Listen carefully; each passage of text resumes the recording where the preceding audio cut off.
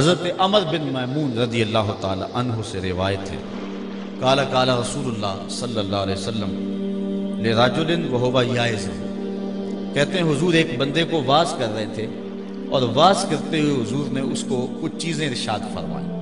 हज़रत अमर बिन मैमून रदी अल्लाह तहो उनको रिवायत करते हैं। हुजूर ने फरमाया एक तनिम खम सन कबल खम से उस शख्स को वाज करते हुए फरमाया, पाँच चीज़ों को पाँच चीज़ों से कबल गनीमत जान ले। वो पाँच चीज़ें कौन सी हैं जिनको पाँच चीज़ों से कबल गनीमत जानना है? अब सुनिए हजूर क्या फरमा रहे शबाबा का कबला हारा में अपनी जवानी को बुढ़ापे से कबल गनीमत समझ लें आज जवानी है, कल नहीं होगी। जवान अपनी तौबा को मौखर करता है। कहता, बूढ़ा हूँगा तो मैं हूँगा और मस्जिद होगी। और इस तरह जवानी बर्बाद कर देता है। जवानों इबादत का जो लुत्फ जवानी में है, वो बुढ़ापे में नहीं है। शहरी के वक्त अंधेरे में खड़ा हो करके मुसल्ले पे आँसू बहाने का जो मज़ा जवानी में है, वो बुढ़ापे में नसीब नहीं होगा। बुढ़ापे का एक अपना लुत्फ है, लेकिन जिस तरह हर काम का एक मज़ा जवानी में है, हर काम का भांकपन जवानी में है, अल्लाह को मनाने का और उससे लो लगाने का दौर भी जवानी ही है। और हजूर ने फरमाया, वशाबुन नशाफी इबादत वो जवान जिसकी जवानी अल्लाह की इबादत में गुजरी। कल क़यामत के दिन जब कोई साया नहीं होगा, अल्लाह उस जवान को अपने अर्श का ठंडा साया नसीब फरमा देगा। ये कितना बड़ा एजाज है जो जवान को दिया जाएगा। तो फरमाया, शबाब का कबल हारा में का। अपनी जवानी को बुढ़ापे से कबल गनीमत समझ ले। आज कवा ठीक है। आज सारी रात भी कयाम करना चाहे तो थकन तेरे करीब नहीं आएगी। लेकिन बुढ़ापे के अंदर तो चंद कदम चल के हाँपने लगेगा। फिर किस तरह तू सारी सारी रात कयाम कर सके? इसलिए जवानी के इन हसी लम्हों को गनीमत जान। जवानी मस्ती का नाम नहीं है, चौकों और मोड़ों पे खड़ा होने का नाम नहीं है, दहलीज मोहम्मद की गुलामी का नाम है। हुजूर की चौखट की नौकरी का नाम जवानी इकबाल कहता है, शबाब अपने लहू की आग में जलने का नाम। आओ जवानी के मकसद को समझे। इस वक्त उम्मत को जवानों की ज़रूरत है। आज पूरी उम्मत जिस हालत में है, इस वक्त उम्मत को जवां फ़िक्र लोगों की ज़रूरत है और जवां खून की ज़रूरत है जो इस्लाम के काम आए। लेकिन हमारी जवानियाँ कहाँ गुजर रही हैं? आओ अपनी जवानियों को दहलीज मुस्तफ़ा पे ले आए और हुजूर की खिदमत में अर्ज़ करें, आका, सारी जवानी आपके कदमों पे बार देंगे। और जवानी की मकसदियत को समझें तो फरमाया शबाब का कबल हारम का अपनी जवानी को बुढ़ापे से कबल गनीमत जान। सेहता का कबला सुख में का।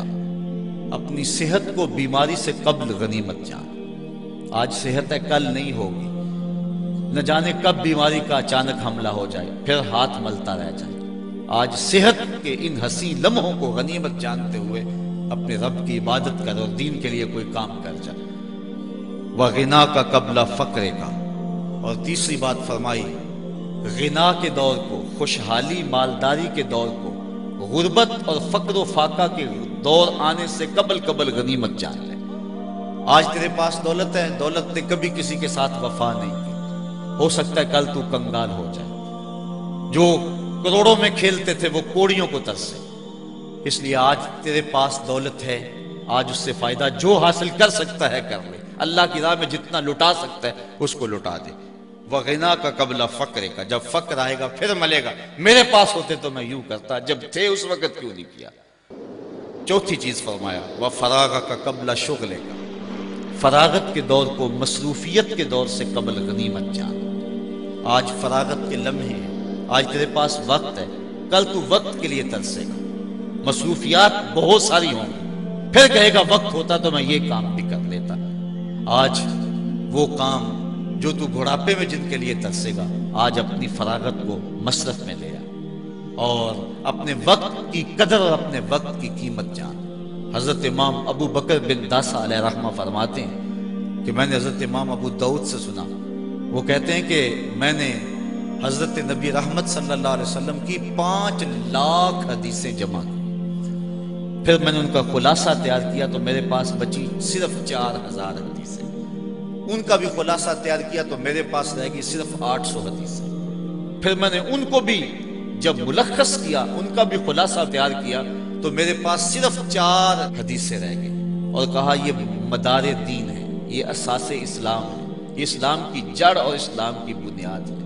उनमें से एक हदीस इन बिन दूसरी हदीस इन हलाल बैन व इन हराम बैन हराम भी वाजे हलाल भी वाजे इसके दरमियान कुछ शुबे वाले उमूर हैं, जो शुबे में पड़ गया, हराम में पड़ गया। और तीसरी हदीस, मिन हुस्न इस्लाम मर तर्को माला यानी है। आदमी के इस्लाम का हुस्न ये है कि वो हर बेमकसद काम को छोड़ दे। एक एक लम्हे की कदर करे, एक एक साथ की कदर करे। वो कहते हैं, वक्त जाया नहीं होता, औरों के काम आ जाता है। आज हमने बहसीत उम्मत मुस्लिमा अपना वक्त खो दिया और दुश्मनों के काम आ गए। आज हम कार मुजल्लत हमने फरागत के इन लम्हों को जो अब भी मुयसर हैं, गनीमत जानना है। इस्लाम हमें एक एक लम्हे की कदर का दर्श देता है। अपनी ज़िंदगी को मुरतब करो, अपने शब रोज को एक तरतीब के साथ गुजारने का मिजाज बनाओ। सारा सारा दिन फट्टे पे बैठ रहना और सारी सारी रात चाय के खोखे पे गुजार देना और हमाम में तीन तीन घंटे जाके गुजार देना। जिस उम्मत को पूरी दुनिया में जकड़ा गया हो जिस उम्मत की बेटी आफिया सिद्दीकी रो रही हो, भला उस उम्मत के जवानों को यूँ आवारगी जेबा है भला? उन्हें तो एक एक लम्हा लगा देना चाहिए तालीम और की गुजरगाहों में। और इस्लाम की सरबुलंदी के लिए उनको एक एक लम्हे की कदर करनी चाहिए। तो ये इस्लाम का हुस्न है कि कोई लम्हा भी बेमकसद ना गुजारा जाए। हजूर ने फरमाया वह फरागा का कबला शुगले का। शुगल से कबल, मसरूफियत से कबल, अपनी फरागत को, गनीमत जान और इसको काम में लिया और आखिर में फरमाया, वह हयाता का कबला मौत का। अपनी ज़िंदगी को मौत से कबल, गनीमत समझ। जब मौत आई तो फिर हाथ मलता रह जाएगा। मेरे हजूर की बिला आलम फरमाते हैं, से साबत अजय हवास तेरे। कर ले नेकियाँ रज के तू। अड़िया रब रसूल, क्यों भुल बैठो? आ रब रसूल वल भज के तू। आई मौत इथे रहसन कम तेरे। अगे वास्ते चल हूँ सज के तू। की आख सन लोग याकूब तेनू, जिदों टुर पियो सर मुँह कज के तू। जब कफन लपेट के बुक्कल मार के चला गया, फिर पछतावा होगा, काश कोई चीख चीख के मुझे कहता था, मैं उसकी बात पे लब्बई कहा होता और उसकी बातों को सुना होता और मन में उतारा होता। मैंने कानों की लज्जत ली और चला आया और मैंने उन बातों को मन में नहीं उतारा। काश बंदा कहेगा, मुझे एक लम्हा दे दिया जाए, दोबारा ज़िंदगी पे पलटा दिया जाए। मैं तो पेशानी सजदे से नहीं उठाऊँगा, लेकिन फिर पछताने से कुछ नहीं होगा। वक्त पर काफ़ी है, एक कतरा भी, आबे खुश हंगाम का। जल गया जब खेत, बरसा मी तो फिर किसका? उस दिन पछताने का कोई फ़ायदा नहीं, वह हयात का कबला मौते का। तुम्हारे नबी तुम्हें बयान कर रहे हैं, तुम्हें बता रहे हैं, तुम्हें वक्त की कदर सिखा रहे हैं। ज़िंदगी को गनीमत समझ लो। सेहत को गनीमत समझ लो फरागत को गनीमत समझ लो, मालदारी को गनीमत समझ लो और जवानी को गनीमत समझ लो। ये सब कुछ नहीं रहेगा, ये ढलते साए हैं, खत्म हो जाएँगे।